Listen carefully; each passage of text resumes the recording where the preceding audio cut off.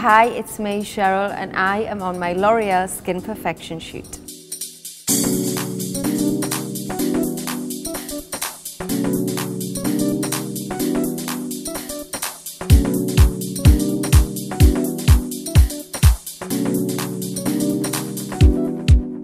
Skincare never really felt like something I wanted to do before, especially more of your wrinkle creams and things like that just never really felt right for me. Uh, it wasn't really a time in my life that I was feeling that way. So this was the perfect product to be advertising because it's more preparing your skin before you reach that stage.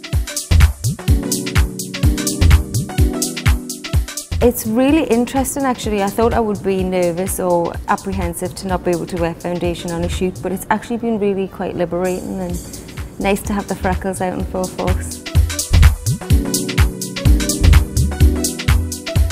My mother's very into nature and you should let your skin breathe and you know you shouldn't clog it up with too much stuff so she likes to make sure that the skin's clean with a nice moisturiser.